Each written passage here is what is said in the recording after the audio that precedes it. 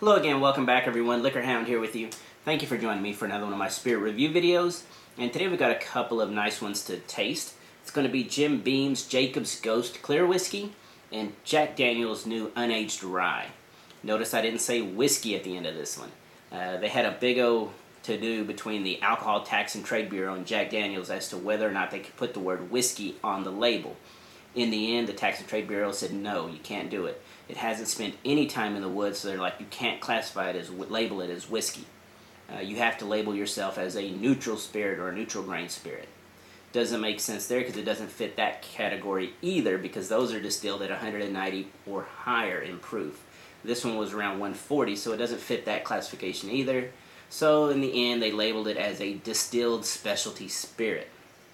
Would look horrible on the label, so they labeled it as just Jack Daniels Tennessee Rye, and in little letters underneath there, it's uh, spirits distilled from grain.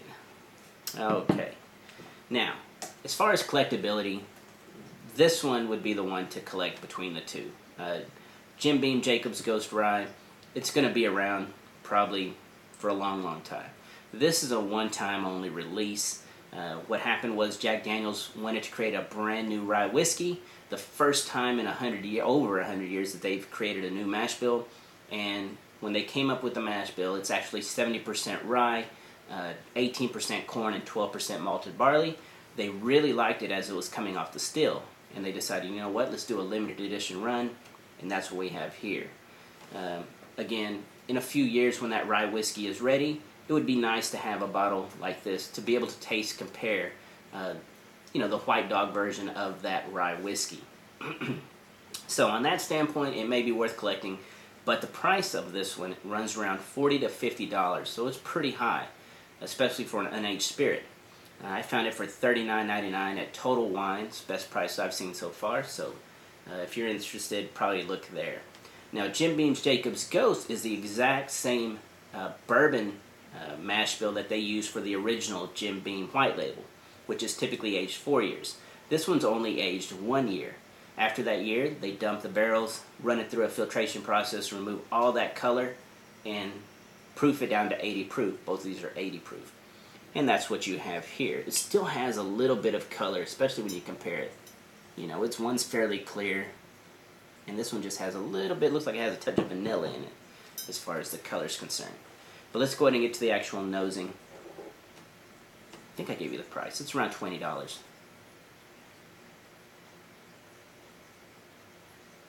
You do get a little bit of that, that barrel influence, but it's very, very light. Just a, a hint of oak, touch of vanilla, touch of caramel. That corn grain is still coming through. But again, it's very muted. Now, the one thing I do notice on the nose on this one is there is some alcohol coming out of this glass. I'm having to back off a little bit. It is fairly warm on the nose.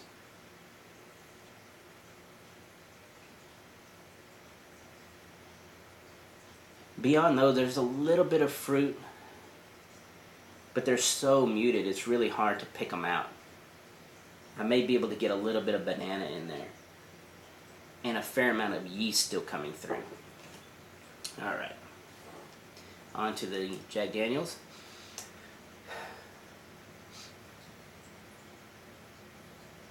Well, it's a big difference.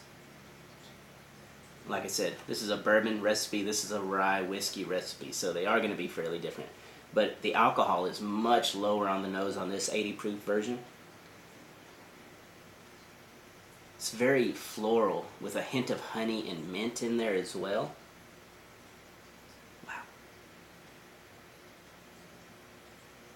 Nice, uh, the yeast is coming through, but it's feeling more doughy, so like a, a nice doughy yeast roll maybe.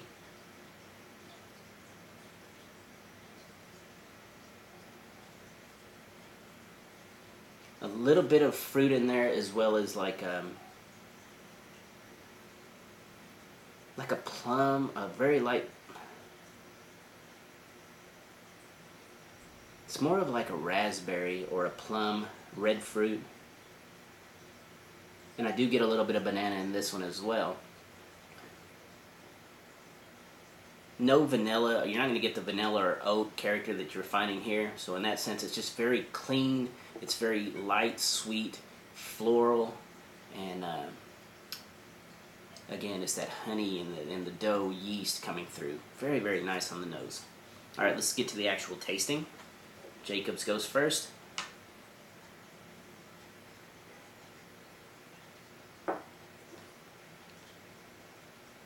Very soft, muted flavors. Alcohol's kicking up mid palate a little bit. It's getting a little warm, mainly on the back. I'm getting the oak tannins as well, a little more dominating on the mid palate.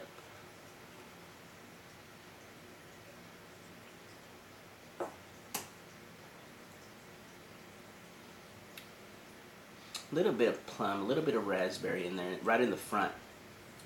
But then mid palate, that's where it starts that oak and the tannins, even though it's just only in there a year, they're already drying it out just a little bit on that middle as the warmth really kind of picks up. So where it enters kind of soft and really muted, then the alcohol is what actually builds right on that mid palate. And then there's that vanilla kind of lingering from that barrel influence into the finish.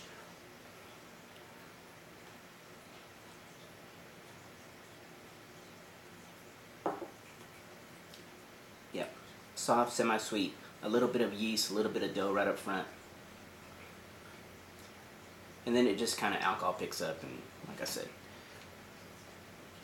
Overall, I can see where they're going with it. They're trying to market this more for like mixing in cocktails or serving it on the rocks. You know, I like bourbon, so to me, if I was going to sip either one of these, um, I don't see that as really a sipper. Okay, I'll put it to you like that.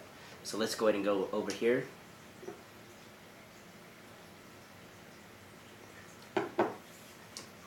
I could see mixing that in cocktails though. Splash of Coke would probably definitely help that one. Alright.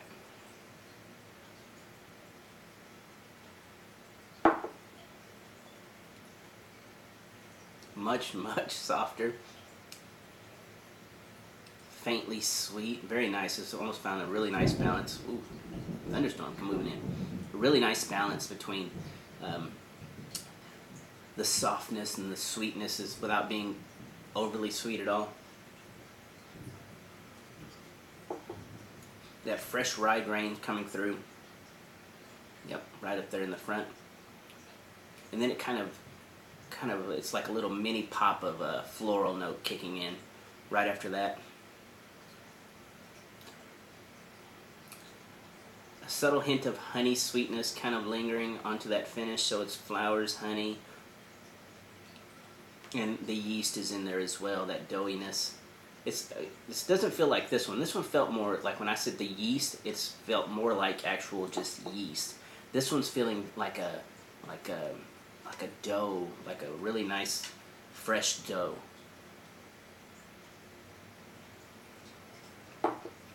That's what's interwoven between all those um, that nice sweet rye and the floral notes with that little bit of honey on top.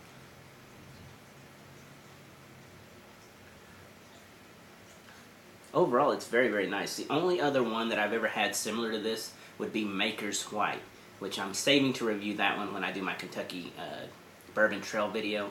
I really did enjoy that one. This one is very, very similar. And unfortunately, the Maker's White you can only get at the distillery.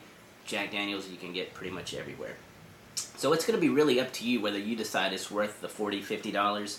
Uh, as far as white whiskeys go, sorry, as white spirits go, I do thoroughly enjoy that one. Um, if you're looking for a big burn or something like that, then not this one. But if you're looking for a more refined, sipping type clear spirit, uh, then you can definitely go that route. Again, thank you for joining me once again for my spirit review videos. Everybody have a great evening and cheers.